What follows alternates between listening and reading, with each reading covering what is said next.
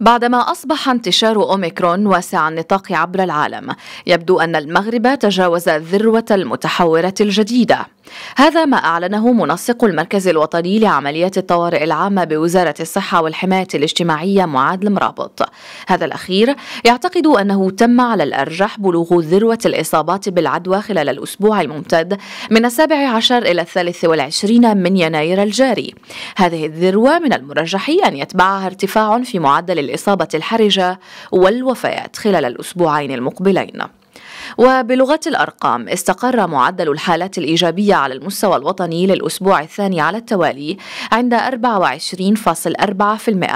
كما تم تسجيل تراجع في جهات الدار البيضاء سطات ومراكش آسفي وسوس مسا وفيما يتعلق بمعدل تكاثر الوباء فقد بلغ 0.98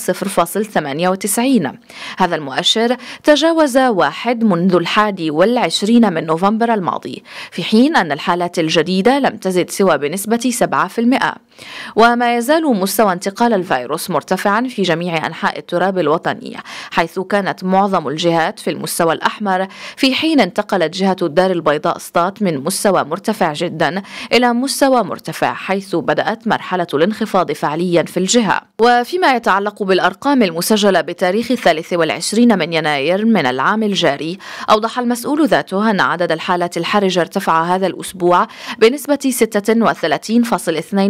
36.2% وتضاعف معدل الوفيات بمقدار 2.4 وحذر المرابط من أن خطر الإصابة بالمرض ما يزال مرتفعا. داعيا الجميع إلى توخي الحذر مشيرا في هذا السياق إلى القواعد الثلاث للخروج من الموجة بأقل الأضرار وهي التدابير الوقائية الفردية والتلقيح وخاصة أخذ الجرعة المعززة والامتثال للبروتوكول العلاجي الوطني.